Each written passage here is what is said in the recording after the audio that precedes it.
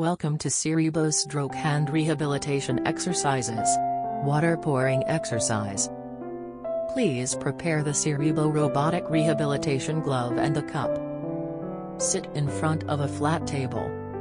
Put on the glove on the affected hand and pull the whole glove towards the wrist, so that the fingertips go as far as possible into the glove. Then tighten on the waist. Fasten the velcro of lateral strap from the back of hand to the palm without discomfort. Select the passive mode. Set the flexion index to 9 and extension index to 5. Tips. The flexion and extension index can be adjusted according to the individual conditions. When the Syrebo Rehabilitation Glove assists the fingers to bend, the fingers should actively grasp the object and feel the feeling of grasping the object. When the glove assists the fingers to open, the fingers should be actively opened according to the patient's arm movement ability. The training content with suitable difficulty can be selected from the following videos.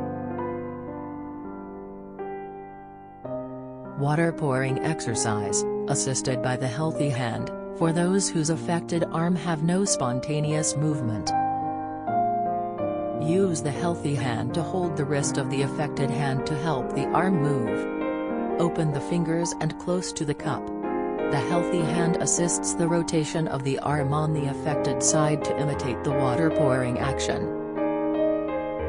The affected hand needs to control the arm to keep straight. The healthy hand uses the minimal force to help the affected hand to Water pouring exercise no assistance, for those who can lift their arms off the table.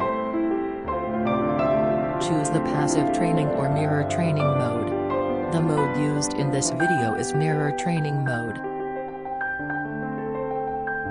Lift the affected arm off the table. The healthy hand with the data glove controls the affected hand to move.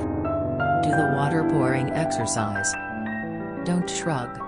Do not turn or bend the body.